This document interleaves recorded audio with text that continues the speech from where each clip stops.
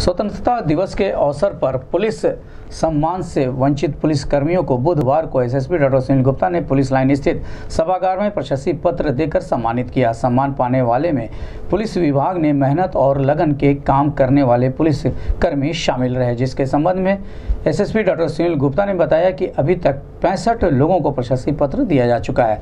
SSP ने कहा कि सम्मान पाने से लोगों का हौसला अफजाई होता है और उन्हें अपने आप में गर्व की अनुभूति होती है।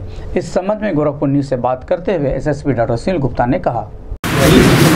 एक मिनट सर पहले धीरे धीरे लगो पीछे। उपरी शाखा। गोरखपुर।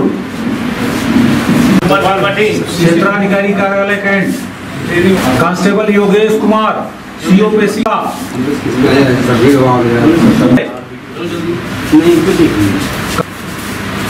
आरक्षी विकास राम आशीष गनर फूलदेव लल्लन सिंह लल्लन सिंह। रामाश्रय यादव चालक Jagannath Mishra Amardeep Pandey.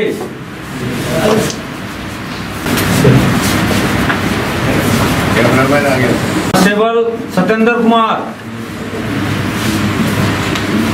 Mohammad Yasin constable Santosh Yadav. Constable Ghulam Waris. Constable Suryamani Chaurasia. Dwivedi उप निरीक्षक सत्य प्रकाश सिंह। प्रभारी इधर और जी गए। ये वो कर्मठ लोग हैं जो स्वतंत्रता दिवस वाले सुबह भी जो है काम पे लगे थे, इसलिए उनको उस समय सर्टिफिकेट नहीं दिया जा सका।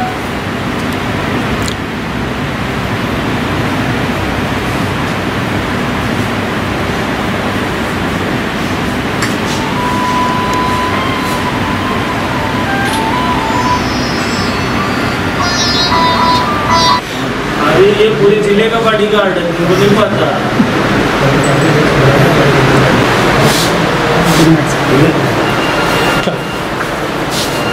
दिवस और गणतंत्र दिवस पर हमेशा से ये परंपरा रही है कि जो पिछले साल में या छः महीने में अच्छा काम करने वाले पुलिसकर्मी हैं, उनको प्रशस्ति पत्र दिया जाता रहा है। तो इसी क्रम में गोरखपुर जनपद पर एसएसपी लेवल पर वरिष्ठ पुलिस अधीक्षक लेवल पर कुछ लोग चिन्हित किए जाते हैं। तो उसमें से कुछ लोगों का प्रशस्ति पत्र 15 अगस्त को इसलिए नहीं दिया जा सका क्योंकि वो अपनी ड्यूटियों पर थे।